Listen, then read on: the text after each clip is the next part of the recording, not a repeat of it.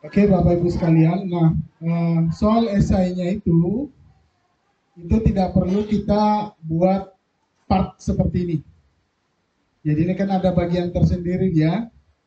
Uh, jadi ini saya ambil soal ATP yang penilaian ujian sekolah sebelumnya. Nah, kalau kita buat seperti ini, maka siswa akan berasumsi dijawabnya di sini Ya, dijawabnya di sini nanti. Nah, tetapi kalau nanti uh, untuk membuatnya dari jelas aja ya suara saya. Nah, kita buat aja seperti ini. Ini, ini anggaplah nah lalu selanjutnya juga ada beberapa hal yang perlu dikoreksi juga. Bapak Ibu sekalian, untuk soal pilih soalnya itu jangan ditaruh nomor nomor soal, jangan, nggak usah. Karena dia otomatis nanti terurut dia. Dari soal nomor satu sampai nomor anggaplah kalau produktif kan sampai nomor 20 ya pilihan gandanya. 20 tambah 5 esai. Nah ini tidak perlu diberi nomor lalu yang pilihan gandanya A, B, C, D nya tidak usah Kenapa? Karena kalau pian beri nomor, lalu A, B, C, D-nya juga pian beri di sini. Misal di sini ketika rugi diajak, rugi diajak karena nanti ketahuan juga apa jawabannya A dan B. Tidak perlu. Ini tidak perlu diberi, tidak perlu diberi A di sini. Nanti tinggal Bapak Ibu uh, yang mengatur sendiri. Di sini nanti diatur di sini ada titik tiga. Coba diperhatikan ada titik tiga, nanti klik centang aja di sini. Centang acak urutan op, opsi. Jadi nanti uh, pilihannya itu setiap siswa tampilannya urutannya beda-beda. Nah, meskipun pian centang di sini, lalu nanti ternyata ada A-nya, ada D-nya, dan C-nya, sama aja, karena bisa aja. Apa jawabannya? A. Apalagi kalau diberi uh, nomor di sini. Jadi jangan diberi nomor. Nah, ini anggaplah soal, uh, saya ambil contoh produktif. Produktif kan ada 25 nomor ya. Kalau yang bahasa Indonesia, bahasa Inggris itu 30 nomor. Ini anggaplah soalnya 20 nomor sudah. 20 nomor. Untuk poinnya, Bapak Ibu, poinnya cukup diberi poin satu aja. Tidak usah 5, 2, cukup satu aja. Tidak tidak usah di ini uh, tidak usah nanti kan karena ada nilai esainya. Kecuali uh, jadi hitung manual aja nanti. Kecuali misalnya ya. Ya. Nah kalau misalnya pakai presentasi ini poinnya satu aja. Jadi nanti misalnya dia benarnya jumlah benar dibagi total soal pilihan ganda dikali berapa persen yang pian beri di situ Nah, baru tambahin persentase nilai dari esainya. Kalau pian bisa juga memberi poin di sini, tetapi total poinnya yang benar sama total poin keseluruhan kalau benar semua, itu cara menghitungnya. Seperti itu. Tetapi saran saya cukup poinnya satu aja. Nanti saya buatkan lagi video tutorial cara menghitung presentasinya. Seperti itu. Nah, sampai sini sudah jelas untuk ini. Jadi saya ulang, jangan diberi nomor, jangan diberi A untuk memudahkan panitia uh, tim IT-nya, jangan di ini baiknya dicentang di sini. Dicentang di bagian acak urutan opsi. Oke, sudah. Nah, lanjut. Lalu selanjutnya Bapak Ibu, uh, kalau gimana kalau misalnya kita mau menambah esainya? Nah, esainya coba perhatikan yang di sebelah ini ada teks klik aja teks. Nah, klik teks. Lalu di sini beri aja judul esai.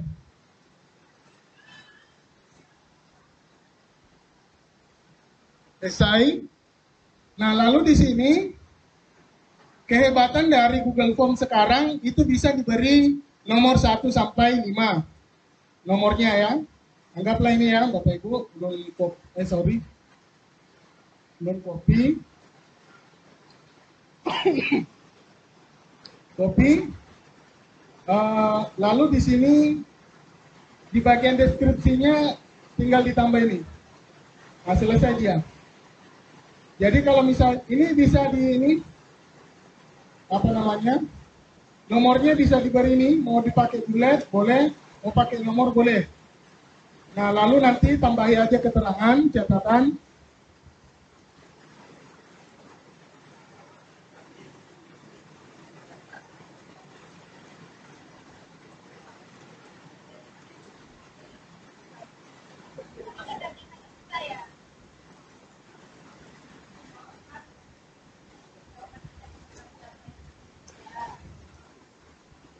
Ya kayak gini aja, mudah sebenarnya. Pak, gimana cara ngebalinya? Jadi ini tinggal sama aja dengan kita ngetik di ini. Kalau mau tebal, ditinggal ini. Kalau mau uh, tebal, tinggal diklik ini. Mau dimiringkan sama-sama persis dengan ngetik di Word. Setelah itu, ya selesai dia. Esainya. Nggak perlu pakai bagian. Karena biasanya dia ini meskipun kita acak di sini ada setelan nih. Nah di sini nanti ada di bagian uh, mana yang bagian acak ya presentasi ya. Acak urutan pertanyaan meskipun diacak di sini coba kita lihat ya. Hasilnya kita view. Saya coba hapus dulu. Belum ambil sampel dulu. Ya saya sampel-sampel nih nah coba kita preview hasilnya. Oh ini emailnya jangan diaktifkan nggak usah diaktifkan belum ini. Uh, ini yang bagian atas.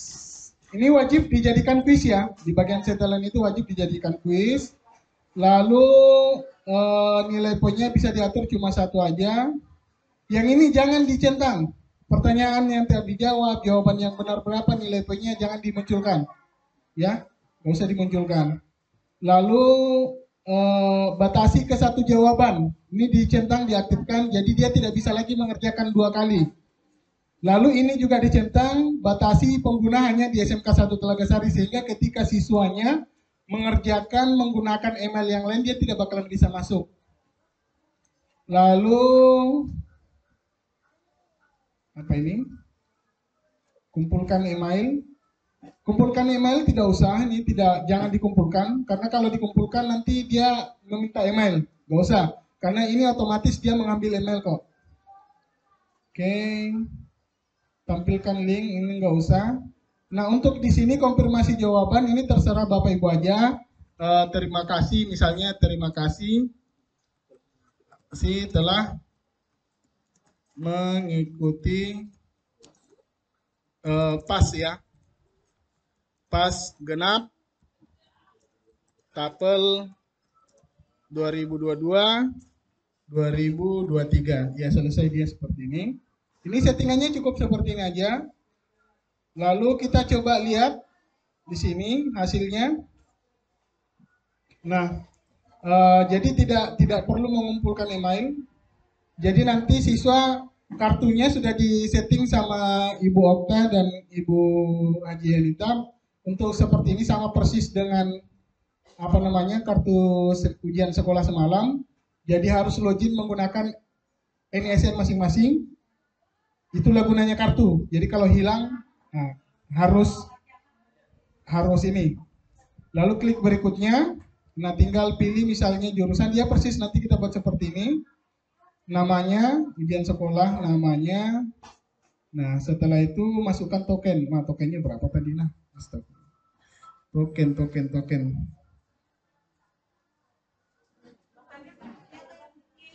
Uh, template-nya panitia yang bikin. Pian cukup bikin soalnya saja. Template-nya panitia yang buat. Dan itu pun belum jadi sama juga kita. Insya Allah kita gunakan ilmu the power of kepepet. Jiwa kreatifnya manusia itu akan muncul ketika kepepetnya. Oh ini uh, tokennya adalah cinta. Cinta. Oke. Okay. Nah setelah itu dia akan masuk ke soal. Nah ini seperti ini tampilannya. Jadi ketika tidak diberi nomor, dia seperti ini acak dia. Tetapi hasilnya nanti direkap tetap sesuai dengan urutan soal yang Bapak Ibu semuanya. Jadi tidak usah diberi nomor satu, A, B, C, D di sini. Dan esainya itu dia tetap akan ada di bawah. Tetap akan ada di bawah nanti. Meskipun teracak yang ini tetap ada di bawah. Seperti itu. Ini cuma settingannya aja tadi, ini kurang bagus nih pengetikan soalnya. Uh, keganalan kalau lah. ya intinya tampilannya seperti ini. Nah, esainya. Lalu di sini catatan jawaban ditulis di lembar jawaban yang disediakan. Gimana Bapak Ibu? Nah, oke silakan dicoba.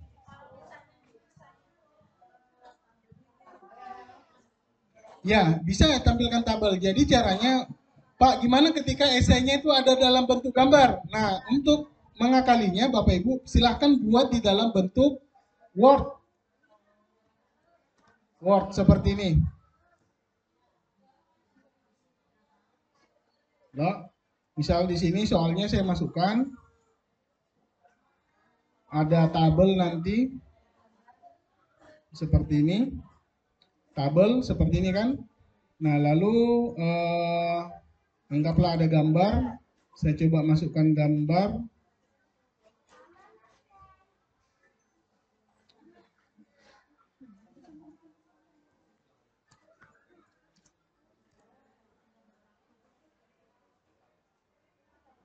Anggaplah tabelnya seperti ini ya. Saya klik kanan, copy. Seperti ini. Nah, ini ada tabel kan? Ya ini nanti tinggal disimpan, save as. Misalnya saya simpannya di download, nama filenya rrrrr ini. Simpan dalam bentuk gambar.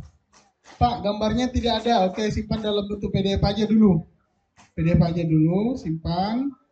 Nah, ini kan dalam bentuk PDF nih. Nah, nanti tinggal dikonversi ke gambar. Bisa dikonversi ke gambar soalnya. Caranya gimana konversi ke gambar? Pakai I love PDF. Ini I love PDF.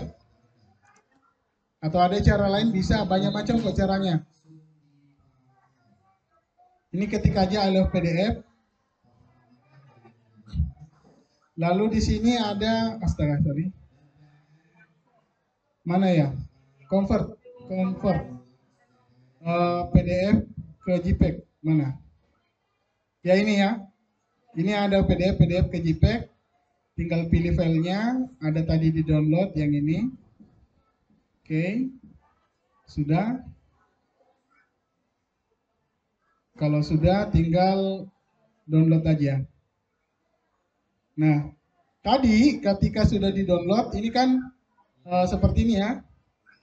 Ini saya coba hapus lagi ya. Saya coba hapus. Lalu tinggal tambah dalam bentuk teksnya esai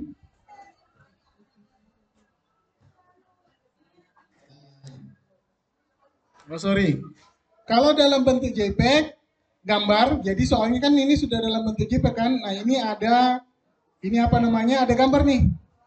Nah ini tinggal tambah gambar. Nah tinggal masukkan di sini. Tinggal masukkan.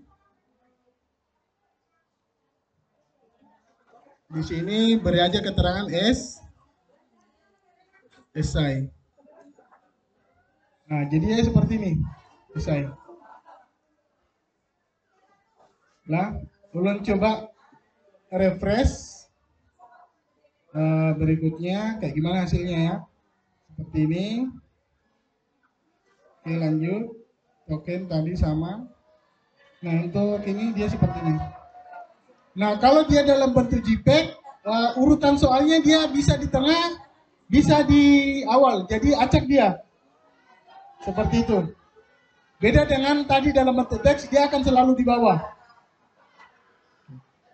Jadi seperti ini.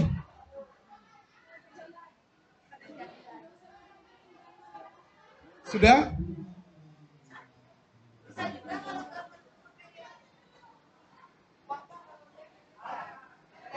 Oh iya, kalau mau dalam bentuk gambar, Pak, Saya mau yang lebih mudah. Kayak gini aja. Nggak usah ini pakai snipping tool. Nah ini aja. Nah, ini lebih mudah ini. Nah tinggal save dalam bentuk misalnya ini selesai dia. Di saya simpan di ini selesai. Banyak macam. Ya, terima kasih. Kalau ada yang lebih mudah, kenapa susah? Oke, terima kasih.